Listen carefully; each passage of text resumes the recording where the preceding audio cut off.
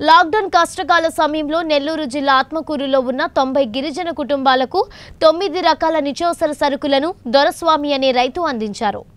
ఆత్మకూరులో ఉన్న తొంభై గిరిజన కుటుంబాలకు భౌతిక దూరం పాటిస్తూ తన కుమారుల సహకారంతో పడ్డమైల దొరస్వామి అనే రైతు ప్రతి ఒక్క కుటుంబానికి నిత్యావసర సరుకుల ప్యాకెట్లు అందజేశారు.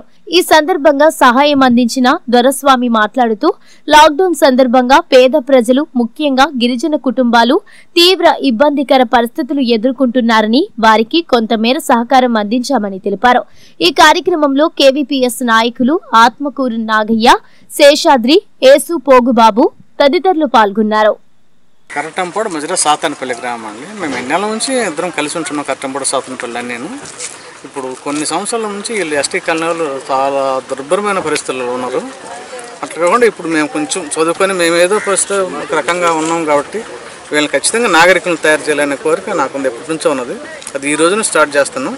దాన్ని ఖచ్చితంగా వీళ్ళ నాగరికులను చేసి మంచి క్రమశిక్షణ నేర్పించి మనుషులు ఎట్లా శుభ్రంగా ఉండాలా ఎంత శుభ్రం నీట్గా ఉంటే ఎట్లా ఉంటుంది అవన్నీ ఏర్పాటు చేసి ప్రతి నెల వాళ్ళకి నేను వీళ్ళని దత్త తీసుకుని ప్రతి నెల కాదు. వీళ్ళని దత్త తీసుకునేందుకు కోరుకుంది నాకు. ప్రెసిడెంట్ కోసం అని కాదు పాడు కాదు ఏం కాదు. నాకు కోరిక అది. దత్త తీసుకొని వీళ్ళు కొంచెం నాగరికులుగా తయారు చేయాలని కోరిక నాది. ఆ కోరిక ఖచ్చితంగా నెరవేరుస్తానని అందరూ నేను ఈరోజు వాళ్ళకి పప్పు దినుసులు అందరిలాగా కూరగాయలు కాకుండా పప్పు దినుసులు అవి ఇప్పించాము వాళ్ళకి పది రోజులు ఏదన్నా పా- గంజి నీళ్ళు పోసుకున్నా కూడా మిరపకాయ నంచుకోవడానికి ఉండేది కాదు వాళ్ళకి. అటువంటిది పచ్చడి వేసేది. మిరపకాయలు చింతపండు అవన్నీ ఇచ్చాము ఏదైనా చేసుకుంటాను కూరగాయలు ఏదైనా. అరవై కుటుంబాలకి. అరవై ఐదు సుమారు ముప్పై ముప్పై ఐదు వేలు అయింది. ముప్పై ఐదు వేలు ఖర్చు అయిందండి అయినా కూడా పర్వాలేదు సంతోషంగా ఉండరు వాళ్ళు కూడా. అట్లా వాళ్ళు ఏ ఇస్తే అనుకున్నా చెడిపోయే వస్తువులు ఇవ్వకుండా మంచి వస్తువులు అయితే ఏ గ్రేడ్ క్వాలిటీ తీసి ఇచ్చాము. ఆ కరోనా గురించి చాలా జాగ్రత్తలు తీసుకోవాలని చెప్పాము అందరం ఇంత ముందంతా చెప్పాము. అంటే కరోనా ఇది భయంకరమైన జబ్బు జబ్బు వ్యాధి అంటే ఇది మనకు అంత చెక్కిన వ్యాధి. మంచి ఆరోగ్యంగా ఉన్న వాళ్ళు కూడా కరోనా వ్యాధి వస్తుంది. వచ్చేది పోయి తెలియటం లేదు.